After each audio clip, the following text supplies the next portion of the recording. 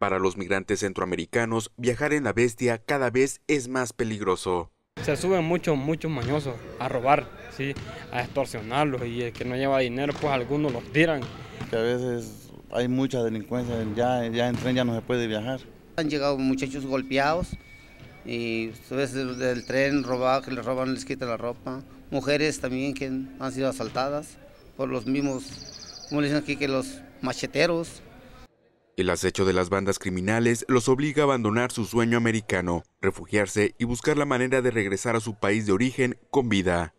Ahorita el migrante nada más le dabas de 24 a 72 horas para que continuara su camino, pero el perfil ha cambiado. Ahora son la mayoría solicitantes de asilo, de refugio, o que ya llegan a San Luis y por la violencia no saben si van a seguir hacia arriba o si van a, regresar.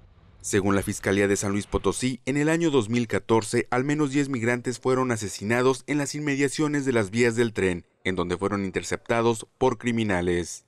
Estamos nosotros detectando lo que se ve en la superficie de personas que son arteramente asesinadas, de personas que sufren este, violaciones, de personas que sufren torturas, pero hay una serie de otras personas que se les despoja de su dinero, a lo mejor no fueron muy lesionados y pues prefieren no denunciar.